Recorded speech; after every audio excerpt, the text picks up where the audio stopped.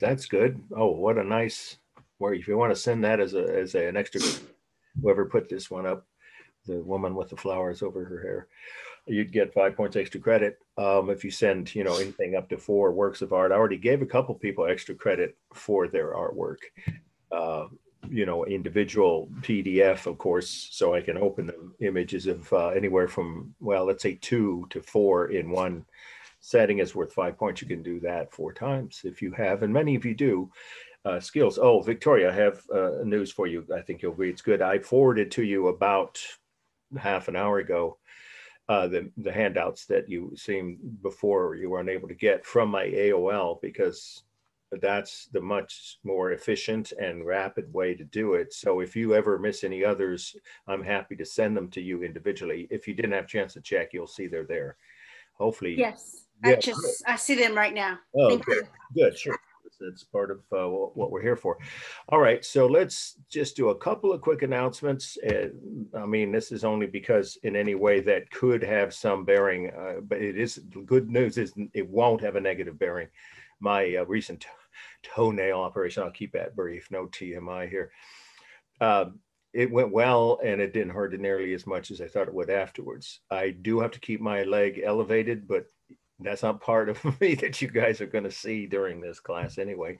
So it's underneath my little work table that I have elevated on a on a footstool, and that's it. Uh, well, I could be taking painkillers, but I decided not to do that because I want to focus and I want to be sharp as I am capable of being for you to have questions, comments, and of course, uh, to focus on the, the topics that we're going to cover each week.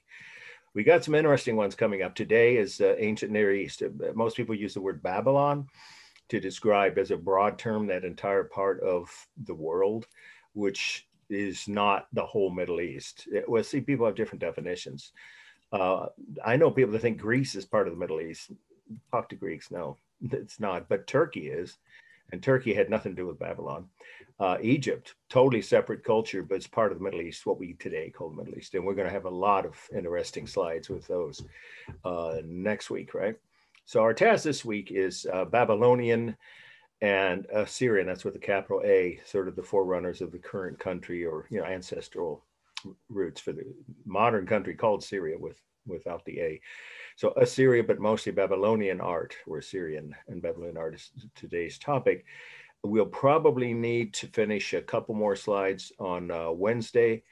And then I should be, I don't anticipate any reason why not, able to stand long enough, that could be 45 minutes so to do during the Wednesday lecture. It's an important one for you to, to watch, or if you somehow physically can't be here, make sure you see the video on YouTube, which which will be the nine elements. And uh, again, if anyone didn't get those, you need to try. Please send me your requests through AOL. It's faster. It's easier for me. Uh, but but in any case, that's for all. I sent an email about that, but I don't know if everybody saw it. You can't. It's much more cumbersome. Outlook. It's just. It's not the most efficient website I've ever worked on. And I've worked in colleges that each had their own websites. The good news is the tech people here are really, really good when there's a problem but knock on wood, my table is wood. We won't have any tech issues. Uh, you know, the only one we've had in the past with Zoom was was really heavy, uh, you know, windstorms that temporarily, you know, interrupted uh, the connection. But even then, I was able to restore them. I think I had to resend an invitation one time in what two and a half two years now we've been doing so so we shouldn't have an issue with that certainly not going to be, unfortunately, any rain for the next two weeks at least. Okay, but are there any questions about? I've been getting some good extra credit, and I think that to me that is a good sign that you guys, you know, are motivated, and it also shows me that you have, uh, I often call it a passion for certain types of art. And they've been, remember, it doesn't matter what subject, uh, period, or topic, or artist. It doesn't have to be from this periods we're covering or the syllabus uh, any kind of art from early prehistoric all the way to the most modern, where you find an article, it doesn't have to have an illustration with it. If it does, it's more interesting, but that's not a requirement. But at least one whole page about one of the visual arts and send me either a screenshot or a link and you get uh, five points. You can do that four times. Okay, anybody have any questions about anything that we covered in the first two uh, weeks or uh, extra credit or anything else before we start the lecture? Will you be uh, doing more extra credit? Well, the extra credit is is ongoing. So you, Oh, yeah, it's on the list. Uh, if you if you haven't had a chance, I don't know if that who that was, but for instance, I know Victoria wouldn't have had a chance yet. Maybe one other person sent me an email asking because they hadn't yet received the course grading policies. Go to the bottom of that. Actually, it's more like the top of page two. It's only a two-page handout, and you'll see listed. We went over them in class, and of course, the video of that is available to look at. But it's easy just to read those. There's about six, and I'm not going to you know rehash because we covered that the first week of class. Uh, but but I think the most enterta- entertaining. Well, yeah, that's that's the right word. Um, easiest. It sounds like you know I'm pitching something. Is is to uh, watch a documentary or a, a feature film about any artist that interests you.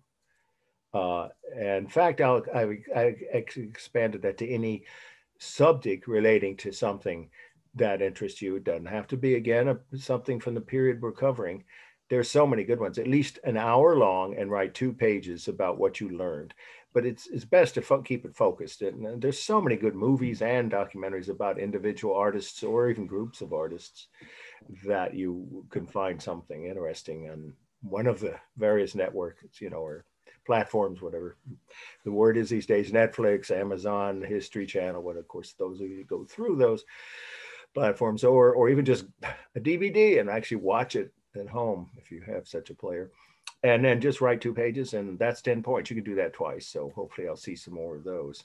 Okay that's a new one i added like last semester i think but it's it's on the it's on the course grading policy along with the other five options. The only one we probably won't do well maybe is a walking tour but there's a chance things will have subsided enough that it's you know an architectural tour will be open to all three of my classes and and you would just drive yourself and you can invite a guest to berkeley at a meeting point. I'll if it happens it'll be in may when the weather's good.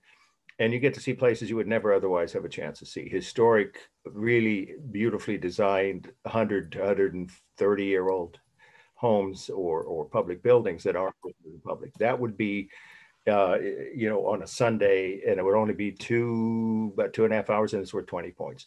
That's a one option that we might not have that, uh, be able to do that because of, of course, the concerns about two years in a row. But I don't think uh, by, by late spring, I'm going to let you know because I think there's a good chance. Let me see. There's, here we go. Admit good timing. We're just about to start the first slide.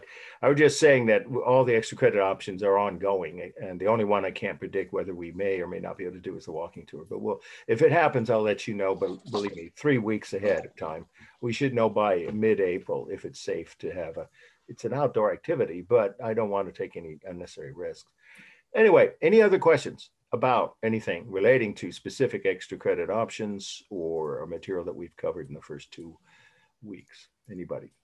Because at the end of this, I may decide I need to not stick around for 15 or so minutes. I may need to rest my my foot uh, as per doctor's orders. But right now, everything's fine. So now's a good time to ask questions if you have any before we get to the first slide. Anybody that's on the you know top of your mind? Okay, well, if it's urgent, I will answer them at the end, as I always have. All right, let's get to um, our first must-know slide. And I'm going to give you a little bit of uh, context before we get to the notes for this particular slide. Okay. And let's just make sure we get it full screen. Everybody can see this, right? I kind of gave you a little bit of, um, I call it context, to background, however you want to say that, which some of which is in Stokstad, of course, but uh, I usually think of uh, add things, I mean, aren't in the textbook. Uh, the, the ancient Near East is usually a term applied to, if you want to think of it today, we give you, if you looked at the syllabus, which hopefully you have before each lecture, so you know what slides are coming up and, and you can have read about, most of them are in Stokstad, like 90% of them. If they aren't, they're on the internet. The point is that, that you should be somewhat familiar with what we're about to cover in terms of the, the individual works of art, at least their names and the period and their location. We don't know the names of the artists this far back, right? So we give the location, or that's what's on the syllabus, and what you'd be asked to re respond to if you have this slide on the midterm. Okay, so the locations we're talking about today, we give you the name of the current countries, would be Iraq, Syria, uh, Lebanon, Israel, and uh, sort of the northern part of the Arabian Peninsula, but mostly would be like Kuwait, because the, the uh, Arabic uh, cultures we're going to cover in some detail when we get to Islamic art. So mostly north of Saudi Arabia, south of Turkey, and west of Iraq. Iraq is its own culture, as you know. Uh, Persian, right, is the ancient word for Iraq.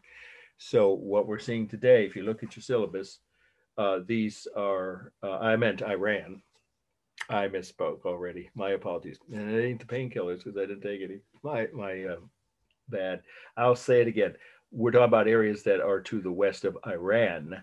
And we uh, will just, you'll see on the list here, all of the, the locations are in what's today the country of Iraq, because that's a heartland of the ancient Near East today, even as well as in the ancient world. It was the uh, birthplace of the Babylonian Empire, but there was not only one Babylonian Empire, some say three, but at least two distinct periods. And we're going to see the early Babylonian uh, period in some of the works we're looking at, and then the later when they ruled almost the whole area we're talking about. They had a very big empire and they challenged the Egyptians and uh, fought with them and conquered the Jewish state or what was then ancient kingdom of Israel and other places we call uh, the heart of the Middle East. The Babylonians were the most powerful culture in the ancient Near East. So let's start with this now. Here we go. Our first must know. I, I always reserve the right to, you know, like I've said this before, to slightly alter the order that they appear within each week's topic. Uh, uh, so it's the second slide now. If you look at your syllabus, Face of a Woman from Uruk is the title. Face of a Woman from Uruk is Capra U R U K. The location is Iraq. And I think you all know that's I R A Q. All of it's the same, spelled that the same countries, of course, spelled that way. Uh, and the date 2100 or 2100 BC or BCE. So we'll start with the fact this is a really unusual work of art, and there's an interesting uh, footnote to it that had to do with uh, the U.S. invasion of Iraq, which is part of the meaning. I'll end with that, but let's start with the first fact you should know and uh, have in your notes. Th- this slide, by the way, I always try to remember to do this, is so important. I'm not definitely not going to cut it from the study list, so you can count on it uh, being on the study list. I'm not saying it definitely will be on the midterm, but it has a high possibility. Okay, so what's the most important fact about it? This is the oldest intact, I'll say it twice, the oldest intact life-size image of a woman's head yet found in Western art. I'll say again, it's the oldest intact life-size image of a woman's head yet found in Western art. Now, there could be something older in Asia, but I'm not aware of that it's over 4,000 years old, and it's far enough back that there, there was no written language yet. There were some kind of um, symbols. Uh, some people use the word hieroglyphics, but that usually applies only to Egyptians. So you could say there was some kind of records kept. So is it prehistoric? It's it's on the cusp. Just say that it could be considered uh, an example of late prehistoric art, but that most people think of as cave paintings, right? So obviously it's more advanced. So I wouldn't even necessarily call it prehistoric. I just call it early Near Eastern art or Babylonian. I've already mentioned that's the area where at the time this was carved, this this full life size uh, head of a woman. And by the way, the title Stokstad gives, uh, Face of a Woman. Uh, let's take a close look. It's more than a face. Obviously, it's the full round three dimensional life size image of a woman's head and neck from the neck up. So, uh, every other source I've ever looked at, not just other textbooks besides Stokstad, but internet sources always call this the head of a woman. But she calls it face, so I'm trying to avoid confusion since that's the way you'll see it in your in your textbook. Okay, so it's the head of a woman who we think some historians, just say some historians, in fact, actually you could even say many, many historians believe it's a portrait of a high ranking Babylonian woman. What would that mean? Either she was a noble woman, you know, one of the ruling class, a member of the ruling class, or a high priestess. Those are the two most likely uh, explanations. If it's a portrait of a woman and the leading, it is the leading theory historians have, the majority of it, uh, including myself, would say that it, it's very likely uh, an actual individual portrait done from from life, from from a woman who was alive then and and was the model for it. Why do they think that it's an individual portrait? Why do most historians think it's an individual portrait? Is part of the meaning. Uh, instead of a general image or you know generic image of just any Babylonian woman. And if it is a portrait, why do the most historians think it's a high-ranking woman? Well, let's see let's start with it. what do you notice about her hair? Let's uh, lower this here. Isn't there something unusual about her hair? Any... Styled and some. Yeah, ex- perfect, excellent. Yes, that uh, that is exactly the right way to describe it. Her hair has been styled, which clearly means that she had someone, you know, do her hair for her, and that by itself would indicate that she was high ranking and, and well to do. I mean, you know, the average peasant woman or even, you know, shopkeeper's wife would probably occasionally be able to, to afford that, but not not usually uh, most of the time, if ever. So that's one clue, okay, she'd have in your notes that, that her hair has been styled, which indicates a high ranking woman. What about her gaze? You know, the way, let's get up close, her eyes. Now I know they're missing the actual eyeballs were in her, this stone. It's a piece of stone, of course, hollow carved stone, that once had some kind of precious stone, probably, or maybe ivory for the eyes, and those were probably stolen thousands of years ago. So, but what do you notice about the way the uh, the, the the her eyes are, you know, looking at us? Is it a normal expression of just a you know sort of a quiet shy person that's just you know not wanting to be noticed? Or is there another way to describe her her eye her gaze? There we go that's the word i'm looking for. How would you describe her gaze? Anybody? She kind of looks stern and like she's like looking at you or whoever she's looking at with like a purpose. Yeah it's very focused. If somebody else had a, a, a comment there's no right or wrong here. I'm just asking. What, did somebody else have a, a, a phrase they want to use? Okay, it's a direct gaze. That's what I would say, but you can you know write that a number of ways. Uh, I would say it's a direct gaze, which implies, in you know, this again the next thing you should have in your notes, that she has some sense of her own authority or importance because she's looking directly at us. And that, of course, what wouldn't be the case with a poor woman or an average, you know, say, you know, maybe shopkeeper's wife. I keep saying it that way, but you know, we didn't use the word middle class for this period of history, but that's what we're saying there. If she wasn't upper class, she probably would would be less likely to be shown posed this way with a gaze directly looking straight at us. Last thing, the last clue is look at the set of her jaw and the uh, her mouth and overall then including the the gaze how would you describe her expression on her face? Somebody actually used the, the, the gentleman that just spoke up. You said somebody said stern but if you thought of another word that might also imply something about her personality her state of mind that she's conveying with her her pose everything from the way she her eyes are and her mouth the set of her her jaw you know and the overall impression that she gives. Is one of a woman solemn? Yeah okay that, that solemn or confident? Say that last second word sorry. Uh, solemn or conf- confident? Yes again excellent. Yes a strong sense of self-confidence. I think that clearly comes through. Again, we're saying that's if this is a portrait of an actual woman she exudes self-confidence or you could say gives the impression of having a strong sense of self. I would say self-confidence is the best phrase but any phrase that that is, means the same. You definitely gives that impression. Again that's a leading theory.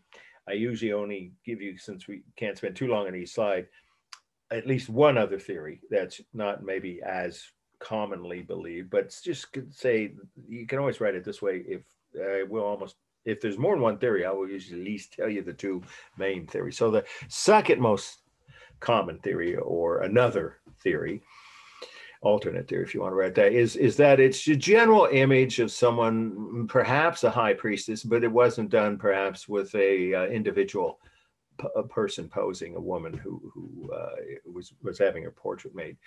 Well, maybe, but it just there's so much detail here with the again the way the eyes are looking at us, her styled hair, the the set of her jaw, the expression on her mouth. It, most historians, and definitely I would say the odds are mostly that are much greater that it's an actual individual person, and then probably there would be two main uh, possible roles, either as I already said, an upper class woman, uh, you know, from a powerful family, or a high priestess who would have really important role in their religious ceremonies. Okay, one last thing about the meaning. I gave you a little teaser about the uh, Iraq War. When uh, Baghdad fell, that's before some of you, well, 2003, that's the year my daughter was born. Yeah. In fact, she was born literally a day or two after the US uh, invasion or whatever you want to call it, takeover, right, of, of Iraq. So just say during the fall of Baghdad or when the city of Baghdad fell during the Iraq War, this and many other works of art disappeared from the museum that owned them. But there is some misunderstanding about what happened to this. And we know now it wasn't because of chaos or riots, which there were, you know, as a city falls to an invading army, there's always chaos, right? And it wasn't even any way related to the US invasion. It was stolen by someone who worked for the museum and then stored in their backyard and it was going to be sold to a foreign you don't have to say who it happened to be his german i don't know his name but it doesn't matter what the kid it was he was a foreigner not in any way even from the middle east it was going to pay millions of dollars for it i think it was 10 million but you don't have to say exactly. He said so so someone from the museum stole it under cover of all that chaos buried it in their backyard got an illegal you know deal going and a neighbor reported that theft to the US military which by the time that it was discovered they had control over the city. So some US soldiers came and dug it out of the backyard and it turned out to be intact because even though it's missing part of its nose that was gone thousands of years ago and I think a little bit of actually the ears are in pretty good shape here. So the piece was found in the condition it, it had been at the museum, and it was returned to the museum with much stronger security measures. So it's never been, uh, you know, taken or stolen since. What was that? Almost 20 years ago. So that's a little footnote. You don't have to write that, but that's kind of part of the update on the meaning. Okay, let's do a formal analysis and, and get to our next must know. This is balanced left to right, as all intact human uh, images of human heads would be. Of course, again, like all human facial, and of course, the face is what we're looking at in the front of it here, has two eyes, two eyebrows, uh, bangs, right? That creates rhythm. Two ears, they're visible here, right? And of course, two lips. So there's plenty of rhythm. Uh, the simulated texture, I wouldn't say any of it has simulated texture except the hair. To me, that almost looks like it's you know plastered down with some kind of a you know pomade or whatever, some kind of a uh, chemical. Maybe the hair has simulated texture, but the rest is the real rough texture of the stone itself. So there isn't much simulated texture, at least in the face itself below the hair. Uh, but that uh, also is what would lead to the where kind of line. Well, sculpture, as always the case with sculpture, the details are created with carved line. I don't think it was ever painted. It could have been. We have no evidence of that though. So just say the only kind of line here was carved line around the eyes, the mouth, the hair. Uh, there is no larger or smaller mass. It's a single mass, but it is hollow. You'd want to say it's a life-size hollow uh, object, this you know size of a, an adult woman's head. Therefore, it's a single mass. Is it stable or dynamic? It's mostly stable. Look carefully at the way her head, head is, is being held as she's looking at us directly upright, the neck, uh, and even the sides of her hair do until you get to the edges of the bangs. In the middle here, by the way, we think she had a headdress of some kind, that that's missing along with the eyeballs themselves. In any case, except for the details, of course, of the eyes and eyebrow and part of the hair, it's mostly stable with some dynamic detail. The color is a warm color, and there's the only modeling on it is the lighting from the museum. And then for space, well, I kind of covered it with mass, but you would want to write if it's on the mid midterm that it is again a life size uh, image of a human uh, head. So it's you know several inches. To say several inches tall, and the only technique for space might be the hair. You could say that the bangs overlap the rest of the face. Okay, let's move on. That's another view of it looking from below, looking up. You can see the ears more directly here. Now, this is an important slide. Also, I'm not going to cut this one from the study list. Our next must know. It's the ziggurat. It's number one or top uh, on the top of the list for for this week's lecture. Ziggurat of Ur. That's a word that might come up, and in fact, it's on your list of terms to know. So we're going to define it. Uh, but I'll spell it first, and and then of course give you the date.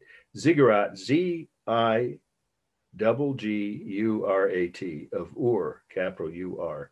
The location is Iraq, the country. Again, I've already spelled that. And the date here, well, I guess maybe I should have gone a, I do owe you guys a little correction. I stand corrected, as they used to say on Johnny Carson's TV show. Nobody knows what was the top TV entertainment show for 20 years.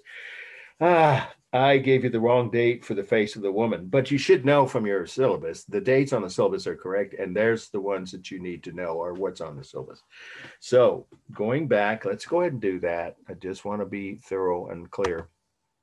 My apologies. The date for this, cross it out if you wrote what I uh, incorrectly said because my eyesight drifted upward. So sorry about that is 3500 BC, face of a one from Uruk. So it is old enough that some historians think it's prehistoric. So that's the part I was focusing on when we started the notes on the meaning. But for the date, it's what's on the syllabus always.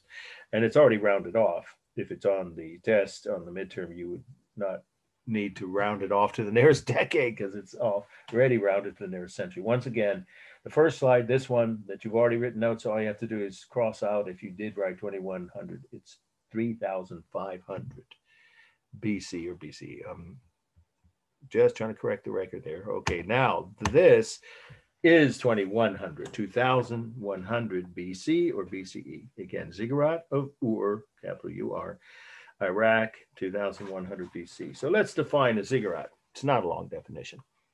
A ziggurat is a Babylonian stepped, that's with an ED, right? Babylonians, B A B Y L O N I A N. You should know the spelling of that word from Stokstad, but any word not on the syllabus, you don't have points off for misspelling if if you get the, the word written close enough that, that me or the readers, when we grade your your uh, essay, your sorry, your um, exams, your your midterms or finals, uh, you know, make sure you spell the words from the syllabus correct, but you'll have it's open book, so you'll have them in front of you. But other words, we give you a little little leeway. So Babylonian, I just spelled for you. It's here's the definition: a ziggurat is a Babylonian stepped pyramid, comma, and I would even circle that comma because it's not the whole definition by itself. That's just partial definition. So again, first part of it is a ziggurat is a Babylonian stepped pyramid, comma, sometimes used as a fortified city, period. Sometimes used as a fortified city. Everybody got that? Okay, that's important because if it comes up on the true false section, uh, is how the definitions might appear. Not all of them, but several, maybe, you know, five or so on the midterm. I might say something like, a ziggurat is a Babylonian step pyramid always used as a fortified city. That'd be false, wouldn't it? It sometimes they are, but they aren't all that way. This though was, and that's the main part of the meaning. What we know about this comes from written records. It's not prehistoric at all. There's no question that by this time Babylonians had written records, as did most of the Middle Eastern cultures, the ancient Near East. Okay, so what we know about this is that this is only the bottom level. There was three levels, in other words, and this is only the first level that survived, plus the staircases, as you can see, leading up to the main gates. Three different sets of staircases. And then this city was, this, uh, sorry, this Babylonian ziggurat or just ziggurat was used as a fortified city. Well, how did that work? Well, this is the main part of the meeting. Here's what we know. On the first level, which would have been right here, now there's a little tiny bit of the second level, but all there is is, you know, rubble from that. But the first level, which uh, uh, probably did go out like that, would have been literally uh, a hundred, some think a thousand uh, mud houses for the poor, the workers, the peasants. That'd be the easiest way. So the peasants or workers, who of course would go, if it's not obvious, down those staircases every morning to work in the fields, of course, to create food. They were farmers, of course, at this point, or hunters, mostly farmers. So, so the, the workers or peasants would live in mud huts and often more than one family to each each hut or small house. So we can guess, I'm gonna have to guess actually, we, we calculate that there was somewhere around, oh, 15 uh, to 20 people in each of those mud houses. And if you do the math, it, you don't have to be a math whiz. That means thousands of people lived on the first level where the workers or peasants' houses were because they were so crowded together and each house was so crowded with maybe two families in each house. Then the second level were the skilled laborers. That's really the safest way. I, I used to say middle class, but that's kind of a modern term. So we'll just say skilled laborers' homes, which were only one family, but could be, you know, three generations, extended, a single family, perhaps extended family under each uh, in each house. And those houses were made uh, probably of of uh, uh, plaster or wood, a little more sturdy. They weren't made out of mud and yet they were still kind of crowded together. So several hundred or at least a few hundred of those houses each one could hold you know 10 15 people for a large family that meant that somewhere in the range of another thousand or so people the skilled laborers that lived on the second level probably around a thousand could have fit on the second level which probably rose to about the top of the screen here. The third level you can guess what that had was the homes of the of the ruling class. Those were made of stone and they were you know uh, well they also had servants living in them so they might have had 15 or 20 people in each but they weren't crowded together. There weren't that many a few dozen we think you know a couple three four dozen uh, and so up on that level were several hundred people and in the middle of that third level one more thing that you want to add to your notes is there was a temple the city temple where a god they believed guarded that city they called it the city god. Each city had its own god. So Ur had the god of Ur, right? You don't have to write that. You can just say there was a temple in the middle on the third level of any ziggurat that was used, like this one, as a fortified city. There'd be a temple where they, uh, the god that city prayed to for protection would have been worshipped. And of course, priests would have lived in that temple or near it. So altogether, in other words, this could have had easily 5,000 people that's pretty impressive living on uh, those three levels. Some historians even put it closer to 10,000, but uh, that might be a bit high. So it was several thousand, 5,000 or more. And the last thing is, what are these little slits here? Some of you noticed that if you've been looking carefully at this slide. Um, it's an old slide, you can tell by this car. Was that a 55 Chevy? Anyway, so these little holes are windows for the archers right? Uh, archers, there's no other word for it, right? The soldiers with their bow and arrows who guarded the city. Uh, and of course, they had to take shifts. So there was always 24 hours a day, there was uh, soldiers behind those windows. And so that means there were tunnels leading between the windows, but it wasn't a hollow structure. We can tell that by looking at the top of the slide. It was mostly solid except for the tunnels on the first level. They wouldn't go all the way up to the top because the archers would need to be able to see and shoot down at any attackers. And of course, the stairs were how, uh, last, if you want to write this last fact about the meaning, the peasants, when they worked in the field, and if there was a, a an impending or, you know, attack coming, uh, you know, the, the, obviously they could see it coming from a long ways away, the, the archers, right, guarding the, each window, uh, they would sound an alarm, probably some kind of a metal horn, and the peasants would come running up the stairs, of course, hopefully drop what they were doing to save their lives to run to safety, come up the stairs, and then the, the, the gate, which is missing, probably heavy metal or very thick wood gate, would close. So that's pretty interesting, isn't it? To think of. Guess what? Here's a tip for extra credit. There's a museum in San Jose. In fact, it's right in downtown San Jose. My daughter used to call it the Mummy Museum. It's the only museum in the Bay Area with uh, real Egyptian mummies, but it also has a model of a ziggurat in a glass case, and it's a big model. It's quite big, and it shows how these these could be used as fortified cities. So if you go to that museum and just show me proof that you know you pay uh, like five bucks, maybe seven if you're a student, you get a discount. It's in San Jose, and uh, you could get uh, 10 points, which it's a very interesting museum. It has dozens of mummies, including cat and dog mummies, as well as human ones, child, children's mummies and uh, adults. And then it has a section on Babylon. So both Egyptian and ancient Babylon or Babylonian uh, artifacts, authentic ones are there, plus models created to show what it was like when they built these things and they were new. Okay, so that's a, just a tip for those. It's, it's called the Rosicrucian Museum. Don't ask me to spell it, but if you looked it up on Google, you know, Egyptian Museum in San Jose, you, you'd find it. It's the only museum in the Bay Area that has a collection like that. And that's a bit of a drive, right? for you guys, it's what twice as far as it is from Berkeley, but it's worth it if you want to make a day out of it and you know see some sights and what it's you feel it's safe. Um, okay, or you could just go on their website for extra credit and print out some of the material for five points each each article. They have a good website, at least the last time I checked. Okay, let's do the formal elements. Now, uh, this is a black and white photo, but so, see, I, I went and looked, see, that's not very sharp.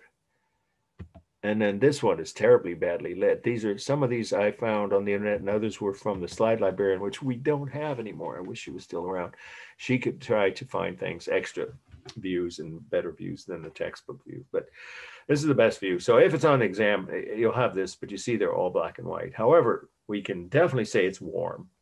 I think the photo in Stokstad shows the real color. It's a sand color. The texture is real. There's no simulated texture. It's all real rough texture of brick over stone. So what you have is two real materials, both of which are rough brick and stone. There's not a single simulated texture in this uh, slide. Then we have uh, the lines are, are, called visual. On architecture, lines are like the edges. If there's no carved line, and I don't see any carved line here, uh, it's wherever the sun, the modeling is the natural shadows from the sun. So that's the modeling. There's no technique for modeling, just natural shadows. But that creates a visual line on the corner, on the edges. So there is visual line in all architecture, or at least whenever there's sun shining. Okay, so there's no carved drawn line. And then we have, it's a single mass now, but when it was originally intact, it were three levels. So you could break it down and say this was the largest mass. And then the next largest was the, the second level and the smallest mass was the top level, but they're missing. So at the moment, it, it's basically a single mass. For space, it was 220 feet tall. That's pretty impressive. The entire structure from foundation to the top of the third level. 220 feet tall. So that's real space. However, there were tunnels leading between the lookout. You can just say lookout or archers windows. However, the rest of the build, the structure was uh, solid. It's not a building, it's a structure or um, pyramid, right? So there, there wasn't any other rooms or things inside of it. Uh, so it's mostly solid except for those few tunnels and uh, it was 220 feet high. That's the space techniques. Uh, and then we have stable, well, both, because on the walls it's themselves, individuals, you go to, from the ground on straight up to the top of each level, it would have been stable on all three levels. But the edges and the staircases, right, these two corners, and those are uh, dynamic, of course, they're diagonal lines. Okay, I think we've covered everything. Oh, rhythm. Yeah, the rhythm would be, in this case, the staircases and these uh, windows, uh, these lookouts or, or archers windows. Okay, let's move on to the next must know. This one will bring up the second definition, last two definitions. Uh, so it's a pretty important slide. Uh, I think I'm going to go ahead and say I probably won't cut it from the study list. All right it's the third one down on your list for today's lecture. Panels from, uh, you don't have to write the word A. We just put it bull, lyre, four words. Panels, plural, from bull, like it was always spelled with two L's, and lyre is L Y R E.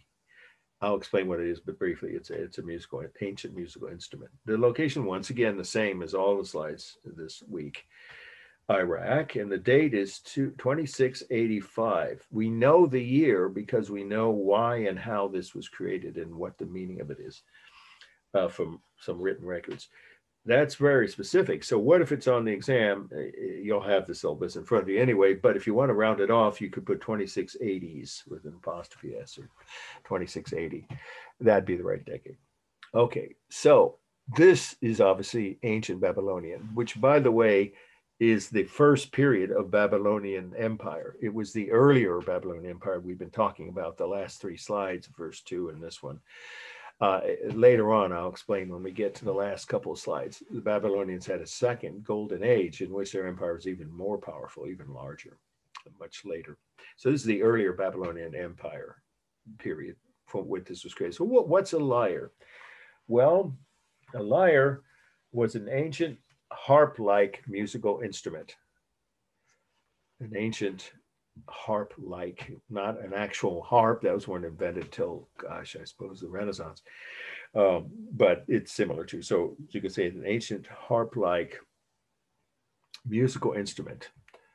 I think, no, that isn't one here. I thought, yeah, the slide librarian might have added one, but that's she didn't have time to do that. So there's a side view of it, I believe, in, in Stokstad. But this is the view you'd have on the exam because it shows what we're looking at, which is a bas relief. Okay, a bas relief. And that's one of the three terms for today. So you see it's at the top of the second page of your list of terms. It's really two words hyphenated, ba or ba, bass. Some people call it mispronounced, but it's, it's a French word, B-A-S well, you've got your syllabus. I should uh, your your list of terms. I'm sorry. So you have the spelling. Bas relief. Here we go. It's a one sentence definition. A bas relief is a two-dimensional work of art with raised figures off a flat background a two-dimensional work of art, comma, with raised figures off a flat background. It's exactly what we're looking at here. These raised figures are mother of pearl. So now you should, you know, these the part of the meaning. So we already said what the first fact about the meaning is, is that what kind of an instrument is. It's a harp-like, ancient harp-like instrument. It had strings, in other words. Uh, it sounded like somewhat like a harp. Okay, but each panel is a bas relief. These are figures made out of mother of pearl, and the back flat background that they're raised off of is painted wood, lacquered, as in lacquer. Everyone knows what lacquer is, right? Uh, lacquered or or you know uh, painted wood with lacquer on top, the black section. So, for instance, if you get up close here, you see the black areas are the flat part, and that's all painted wood with lacquer on it. And then each of the uh, figures, human or animal figures, are um, raised off the back. So it's a bas relief panel. But part of the meaning is the last new term for this week is that it's in the animal style, just like those words sound, two words. Animal style. Well, again, that has uh, another definition. It's not a long one. The animal style uh, was a style of ancient art in which animals were depicted with human like characteristics, and I'll repeat the whole thing, comma, and often engaging in human like behavior, period. I'll say it again. Animal style was a style of ancient art in which animals were depicted with human like characteristics comma, and often engaging in human-like behavior. Well, that's exactly what we see all four panels here have, eh, you know, mostly animals acting like humans. Uh, or mixed, uh, in this case, we'll get to each one individually. So some of them are humans, like this man here in the middle, who is either hugging or crushing two bulls with human heads. You see the human heads with the beards, same you know shape and same type of beard that the, the human has. So that is a classic example of the ancient world's animal style. And so, what is this guy uh, doing? Well, all we know is that he's superhuman. He'd have to be, you know, some of you, right? That bulls, I don't know if you ever gone to 4 H or county fairs and gone to the 4 H tent. They're huge. You can't lift them up unless you're superhuman. So the guy in the middle is a super strong human being. He's half God and half human. And we know from the records about what the meaning of this piece was. This piece was created to entertain the uh, the ruler, the you know king of a palace, and it was found in the ruins of a palace in uh, what's now Iraq. So again, the piece was part of a royal palace, you know, entertainment system, if you want to call it that, right? Or, or some, you know, live musical entertainment in the royal palace. It, it was commissioned by the king to entertain his family and his guests. So these panels are part of the entertainment. They're meant to make you smile. They're whimsical deliberately. I mean, obviously, something un, totally unrealistic is going on here. Here's a human being lifting two ton, at least most, uh, many of these, right? Uh, well, maybe it's 800 pounds is the lowest. Just say around a thousand pounds each, if you want to write that. Uh, there's no way a normal human being could lift even one of them, let alone two. So he is a superhuman, half god, half human in other words, a hero. That's the ancient world's meaning of the word hero. Slightly different than the modern, but you know, that's sort of what uh, some Marvel heroes are half human and half God, right? So just say that he's one of those rare uh, godlike humans who had superhuman strength because he was part human and part God. And the, all the ancient cultures believed in that all the way through the Romans the Egyptians, the Babylonians, the Assyrians, the Greeks. We'll, we'll, get back to that when we see some other slides, and the Romans. So he's one of the few human characters. Now down here, these these are just two animals, a lion and a jackal. And look what they're doing. They're going to a party. The lion's carrying wine, a jug of wine and a goblet of wine. And then the jackal's carrying cooked heads of his own species. Well, obviously, these are animals engaging in human like behavior. And then my favorite panel, the musician panel, there's the lyre that we are looking at the end piece of. That that piece there, the end of this instrument is what we're looking at in this overall view of this slide. So here we have a donkey and a bear, and the bear is snapping his paws, I guess you can't say fingers, right? Well, yeah, but in time to the music while the donkey is playing that lyre or harp. And there's the bull head, which is where the name bull lyre came from. And then you have this uh, goat drinking wine here. By the way, goblets of wine could be either like this one you know, flat or nearly flat or, or like a modern glass goblet. And then the last panel is, is again meant to be whimsical. I call this the two-fisted drinking goat, but you call what you want. I mean, obviously goats can't do anything like that. They don't have hands. But in this strange fantasy world, this goat can stand upright and drink with the best of them, right? Clutching two goblets of wine. And then this half scorpion, half human is another one of those strange creatures that fit this style we call the animal style.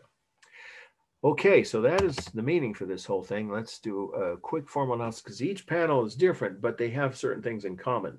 All four panels are balanced, roughly balanced. You know, the two bulls on either side of the human, superhuman, super strong human, and then these two animals, same height, same thing here with the two musicians. Some people think that this one's weighted a little more toward the left uh, because of the size of the goat. But when you add this giant goblet of, or uh, sorry, I meant uh, vase of, of, wine, I'd say it's roughly balanced left to right. And both, uh, I mean, sorry, all, all four panels are ba- balanced roughly top to bottom as well as left to right. The rhythm is pretty uh, easy to see with the beards, the horns, the legs, hands, and of course the rhythm continues on all of these animals, the repeated body parts, of course uh, all the way down to the uh, bottom panel. Uh, are they stable dynamic? Look carefully, mostly stable. The animals are walking upright. Uh, this one human is standing upright in the middle, but there are dynamic details on the heads and the horns, of course, and the uh, vases of wine. Uh, so there's some dynamic features, but overall, the poses of all all these images of these human or animal images are pretty much all upright, so most mostly stable. For space, there is only one technique. It's overlapping. Now, I've had students, and I didn't take points off on the midterm if they said that it looks like register line, but what we know is these are supposed to be different rooms in the palace at different times when different events occurred that are being shown in this imaginary set of bas relief panels or of events that, of course, we know didn't really occur, obviously. Uh, so what we have is separate scenes, each one of which has only got one technique, uh, overlapping, of course, right? The two bulls overlap the human and, of course, the various objects they're carrying, right? Uh, they overlap the musicians over the instrument and uh, over the goblets of wine, the two or the lion are carrying. So obviously the only technique for space is overlapping. I don't think there's a larger or smaller mass here, unless you maybe down here, you could say the scorpion slash man or hyphen man uh, is larger than the goat. But the others, the, the, the main figures are, are, pretty much equal in size. So that's another reason why they're roughly balanced. So there is semi-texture here. It's pretty good if you get up close on the hair of, or the lion's mane and on the goblet and on the fur of the donkey and the bear. And even up here, whoops, sorry, uh, here where you see the beards and hair, uh, that's that's similar texture, and even the scorpion has some uh, half scorpion.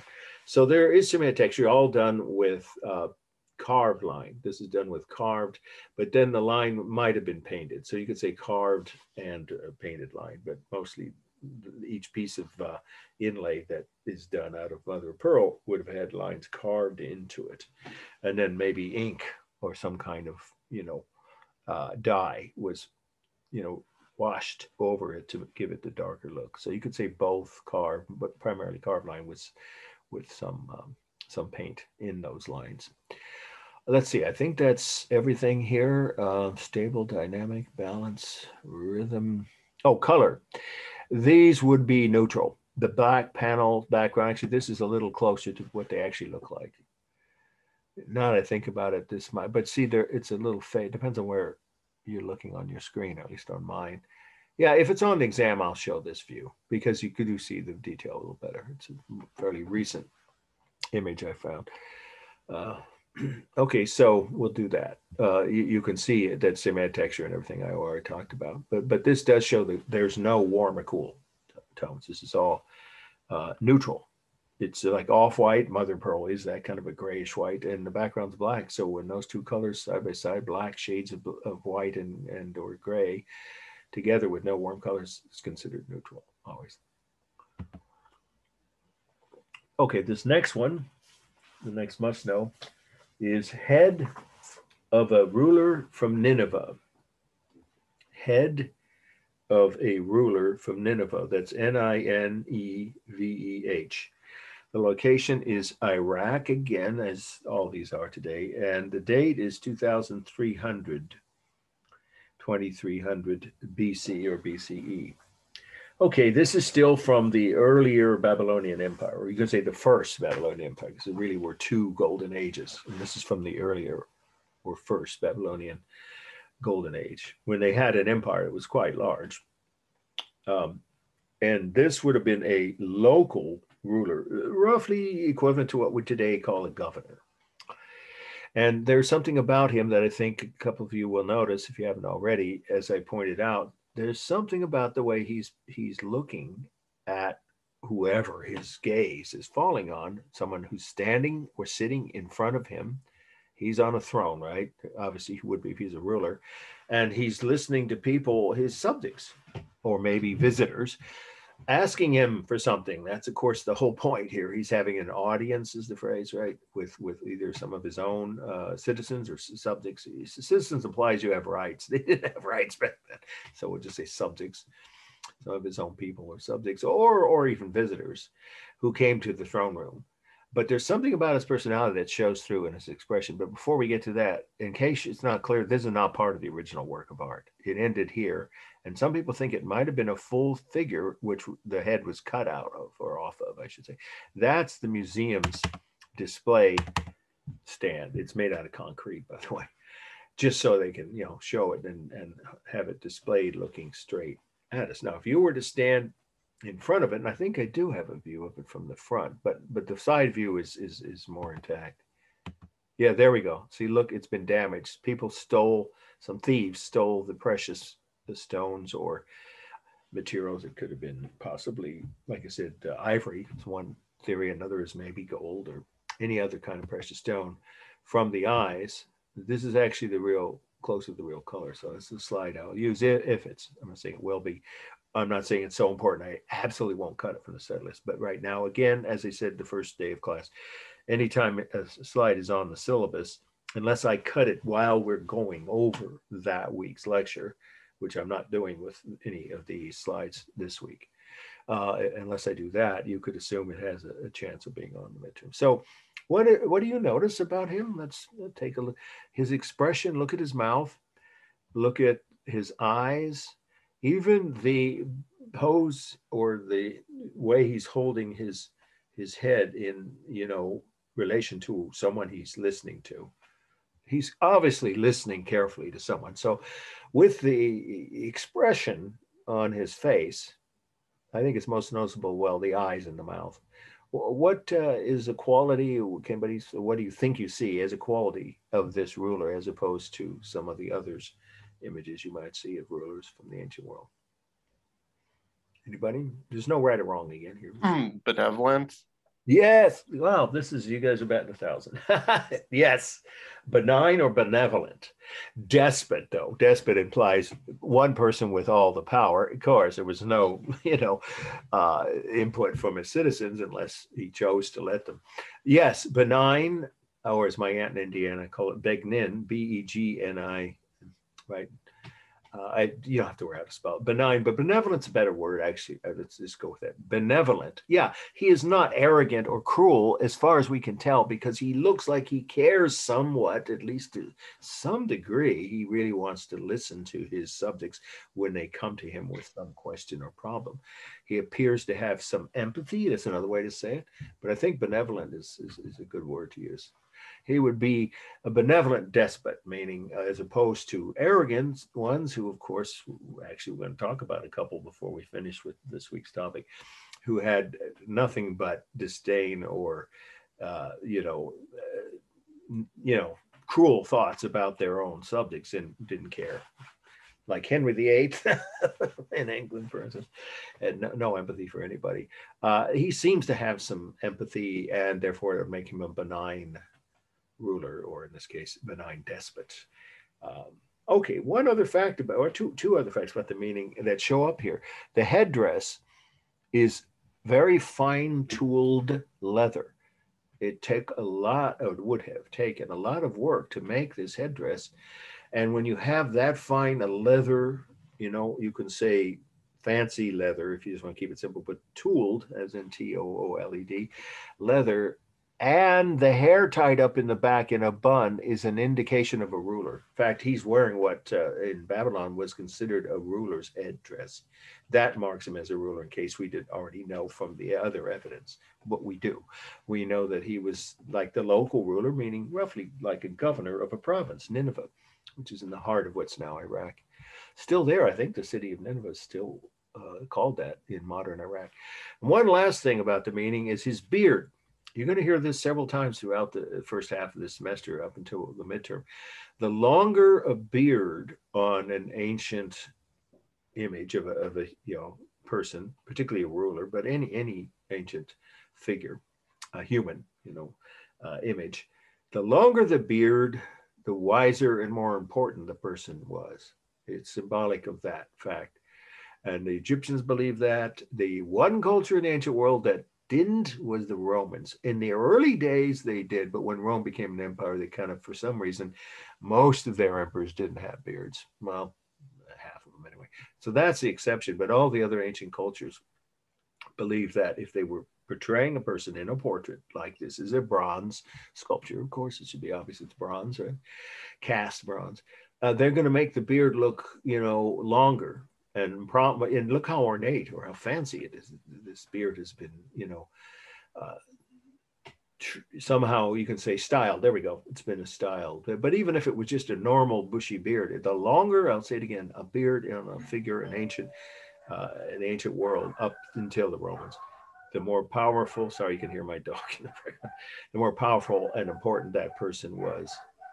I would hope my daughter would grab my dog by now. sorry. yeah, sometimes there's nothing you can do about it. All right, so this is an important and powerful ruler. Uh, we actually know who he was, but we don't maybe know his name, but we know what part of ancient uh, Babylon he ruled over, uh, a province called Nineveh. And the beard proves that he was a ruler, as, as does the headdress, the two together, and then even the hairstyle, having it uh, in a bun in the back. Okay, that's plenty on the meaning. Now this is a warm color. It's a real color you're looking at. Uh, bronze color, uh, kind of a brown bronze. Browns can be, of course, uh, more gold in some uh, works of art, but here it's it's a warm brown.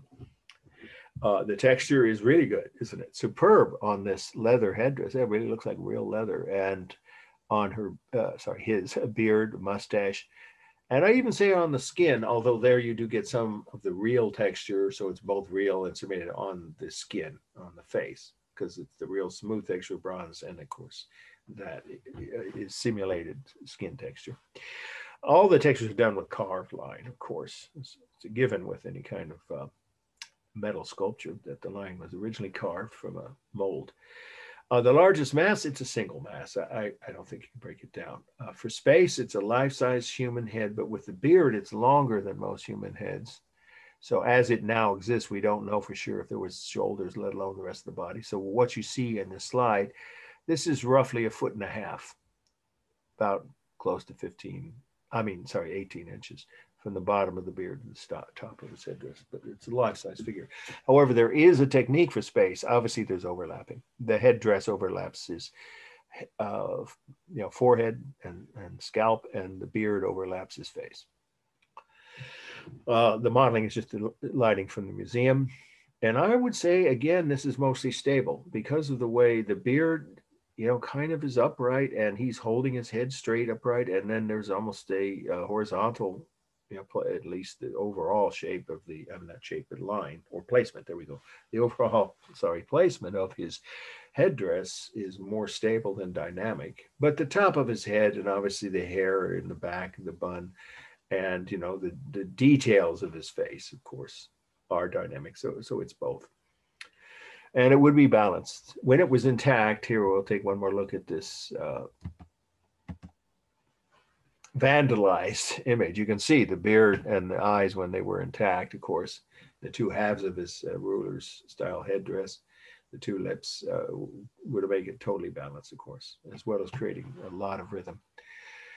And again, you see what I say, it's more stable than dynamic because of the pose, but yes, plenty of dynamic details on the parts of the headdress and uh, the eyes and the lips. Okay, how are we doing on time? Well, let's do one more slide. This is a pretty important one. Now, this one I won't be cutting. The next uh, must know. Steely, or some would say Stella, but that sounds like a character from Streetcar Named Desire, but that play, some of you may know, or the movie version. Spelled the same way as the woman's first name, S T E L A. Steely is how it's pronounced, of Hammurabi. Hammurabi was a ruler from, of course, ancient Babylon, and that's spelled H A M M U R A B I. H A M M U R A B I. Don't give it two B's or you'll turn him into a rabbi. He wasn't Jewish. Right? He was the emperor or king of, again, the earlier, uh, during his lifetime, he was the ruler, the, the uh, ultimate ruler, right? Uh, of the Babylonian Empire during its er early period. You know, in his day, he had all the power in that part of the world. The location, of course, again, it's what the modern country today is called Iraq, 1750 BC or BCE. Okay, so we're looking at a giant piece of stone that you can't see diddly on, right? So you might say, why am I even showing it to you? Well, because it's in the Louvre in Paris is part of the meaning. This was, well, there's no other word. It was stolen by French I think it was Napoleon, but anyways, this French uh, archaeologists who were probably working for someone like Napoleon, who they were given, you know, orders to take it away and put it in the museum in Paris. I don't know why, but it has never been returned to the modern country of Iraq. It's still in the Louvre. This is my own slide. I took this. But if it's on the exam, I just want to see it's huge. It's 15 feet tall, but it's only the top part. Whoops, wait a minute. Now we're there we go. That's it. That we're going to study. So if it's on the exam, this is the view you'll have. And this is one that I won't cut, as I said a moment ago from the study list. It's a really important uh, work of ancient uh, Near Eastern art. So why is it that important? Because it's the oldest example of a law book, or some would say law codes, because it's not really a book, but it's kind of like an early law book. So you can say it's again, the oldest example of an early form of law book or law codes that has yet been found in Western art. Again, there may be something older, but not that we know of. That's a pretty important point. It's nearly 4,000 years old, and it has the laws of that kingdom, which of course was ancient Babylon, carved into it below. So here's your last new term for today, for this week, actually, I think, is uh, stele. There it is at the top or near the top of the second page. Again, of course, it's spelled for you already. A stele uh, you can pronounce it Stella if you prefer, because phonetically that's what it looks like. A stele or Stella is a uh, large piece of stone carved with an important scene. Uh, of course, repeat this from that culture's history, comma, sorry, a large piece of stone carved with an important scene from that culture's history, comma, and often with writing below there's your writing. These are the laws that the king of the Babylon at that time, and of course we know who he was, Hammurabi, wanted enforced. These are the laws and the punishments for breaking them. So that's what we call, today would call law books. The law codes are, of course, printed in books now, as well as obviously uh, in digital format. Uh, but I still think most people I know that go to law school still have to actually read them out of books, at least part of their their education uh, to get their degree. Uh, friends of mine who've gotten law degrees in the last five years still had to read law books. So this is like an early form of law book, and it's the oldest one we have found yet in the Western world. It's pretty important, but that doesn't exactly tell us what's going on here. Uh, what we do know, as I just said, is that these are those laws, and they're in the ancient Babylonian language, which by this time they were, you know, uh, well uh, documenting their history. They were recording things very carefully. So we don't have to guess, you know, who this guy was, but who's the other person? Well, actually, let's start. One last question now. Of these two figures, one of them is a god and the other is Hammurabi. Can anybody say which one is the god and which one is is the ruler in this uh, scene? The one on the throne, because that's the position of more power. Exactly. Gosh, you guys today, perfect. exactly that. And that's really important to remember because you'll uh, see some other slides later on the semester where there are a human and uh, divine, they call them, or God, uh, not God-like, but actual gods uh, shown with humans, always the more powerful. And of course, whenever there's a ruler with someone who is just a citizen or subject, I don't want to say citizen, you know, someone that they rule over, the, the person who's seated will be the ruler. Yeah, exactly. You said it just right. This is always the case with ancient art, not just in the ancient Near East, but the whole ancient world. The more powerful person would be shown seated in the presence of the less powerful one would be standing. So that's Hammurabi, and that's the lawgiver god. Now they had a name for him I probably couldn't even pronounce in ancient Babylonia. You don't have to know that. Lawgiver god, they would call them. There are other clues besides that really obvious one. For instance, he's wearing a divine headdress. That's a spiral style headdress. Whereas Hammurabi is wearing the same kind of headdress we saw in the ruler from Nineveh. You notice that? It's hand tooled, hard, hand tooled leather. And then we have the beards uh, Hammurabi's got a pretty good beard going there, but this guy, the king, the god, I'm sorry, the, the long, has a much longer beard. So again, that's a symbol that he's more powerful and more important.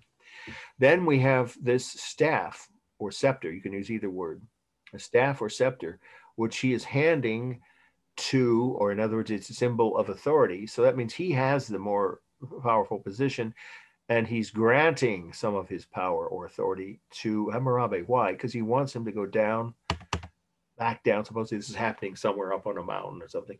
Go back down to his people, his his subjects, and tell them these are the laws you must obey.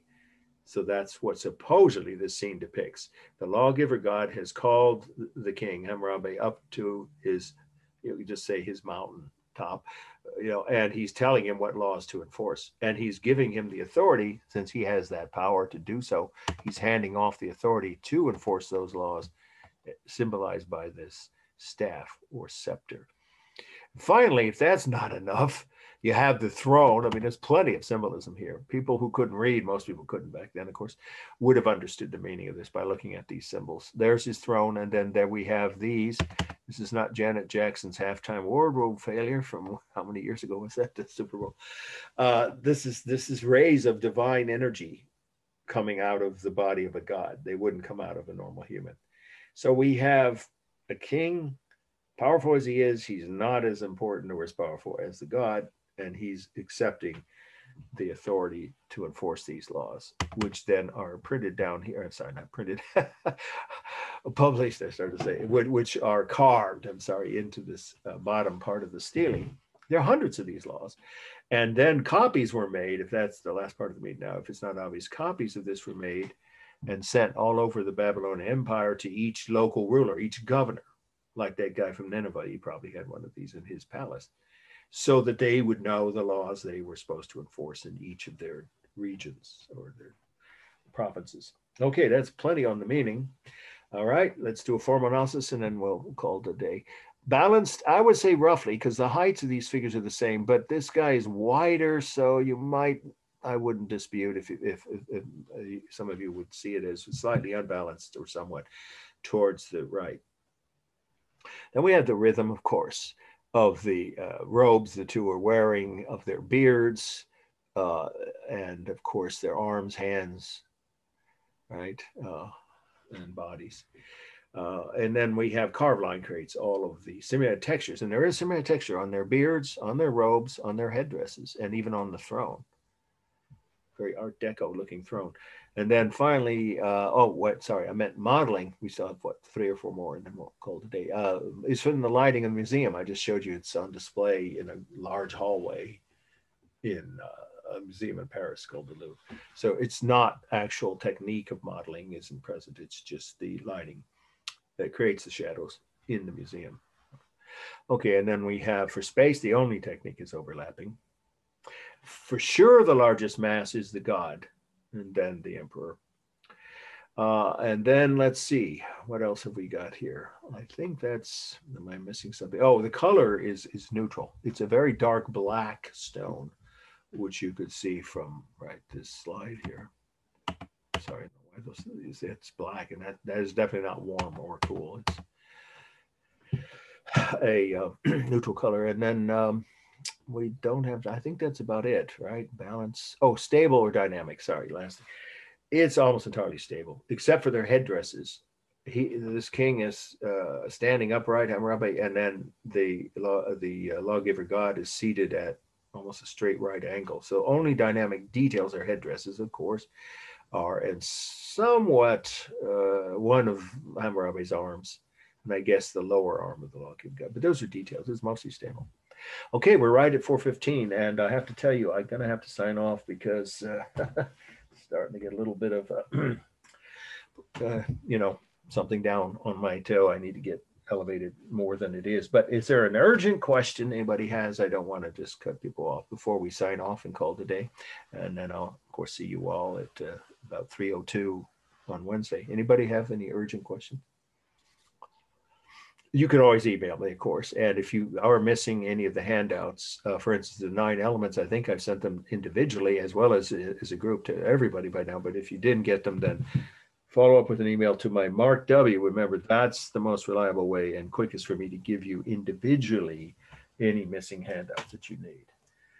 Uh, okay, so if that's the case, you'd get them by, uh, well, today I can't because I have another three hour lecture shortly, uh, but on Tuesday And so we will go over the nine elements of composition. Now, if my foot's bothering me, we might put that off till Monday, but we still have, you know, other slides to cover, remember, and they're pretty interesting ones. The next two must know slides. So if, if for some reason we don't get to the nine elements on Wednesday, we'll do them Monday by next Monday. I'm sure there'll be no problem, but we'll probably get that done as well. And then maybe slightly early on Wednesday, but we'll have a, you know, regular class Monday. So I assume I'll see you all about 302. Anybody, one more time, anybody have any other questions that are urgent? Okay, I'll see you all.